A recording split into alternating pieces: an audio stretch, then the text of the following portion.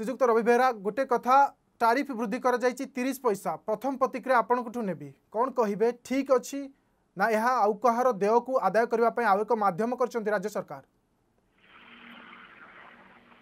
ଆଜି ଯୋଉ ତିରିଶ ପଇସା ୟୁନିଟ ପିଛା ବିଜୁଳି ତାରିଫ ବୃଦ୍ଧି କରାଯାଇଛି ଏହା ସମ୍ପୂର୍ଣ୍ଣ ଭାବରେ ଜନବିରୋଧୀ। ଯେତେବେଳେ କରୋନା ସଂକ୍ରମଣ ଯୋଗୁଁ ହଜାର ହଜାର ଲୋକ ତାଙ୍କର ଜୀବନ ଜୀବିକା ହରେଇଛନ୍ତି ଚାକିରି ହରେଇ ସଂଘର୍ଷ କରୁଛନ୍ତି ବଞ୍ଚିବା ପାଇଁ। ସେହି ସମୟରେ ଗୋଟାଏ ଆର୍ଥିକ ବର୍ଷରେ ଦୁଇ ଦୁଇ ଥର ବିଜୁଳି ତାରିଫ ବୃଦ୍ଧି କରିବା ଆଦୌ ଯୁକ୍ତିସଙ୍ଗତ ନୁହେଁ। ଏହା ସମ୍ପୂର୍ଣ୍ଣ ଭାବରେ ଜନ ବିରୋଧୀ ଅଗଣତାନ୍ତ୍ରିକ।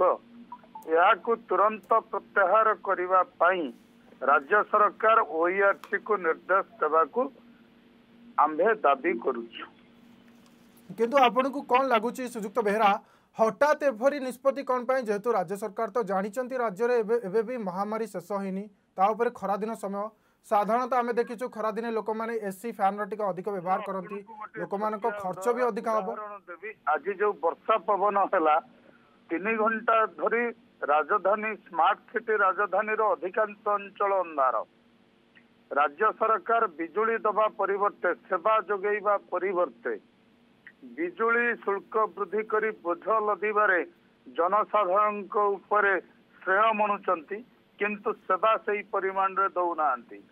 ମୁଁ ଏଠି କହିବାକୁ ଚାହେଁ ଉଣେଇଶହ ଚଉରାନବେ ପଞ୍ଚାନବେ ମସିହାରେ ଓଡିଶାରେ ବିଦ୍ୟୁତ ସଂସ୍କାର ଆରମ୍ଭ ହୋଇଥିଲା। ସେତେବେଳେ ରାଜ୍ୟବାସୀଙ୍କୁ ପ୍ରତିଶ୍ରୁତି ଦିଆଯାଇଥିଲା ସରକାରଙ୍କ ତରଫରୁ ଶସ୍ତା ଓ ସୁଲଭ ମୂଲ୍ୟରେ ନିରବଚ୍ଛିନ୍ନ ଗୁଣାତ୍ମକ ବିଜୁଳି ସେବା ଯୋଗେଇ ଦିଆଯିବ।